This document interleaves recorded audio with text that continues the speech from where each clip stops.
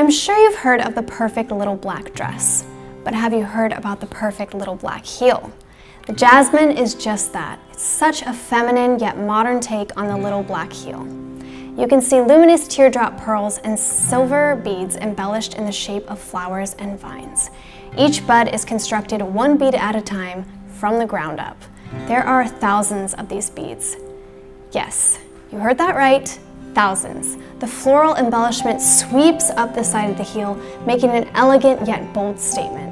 I mean, look at the killer side curve of this shoe. It's so sexy yet classic.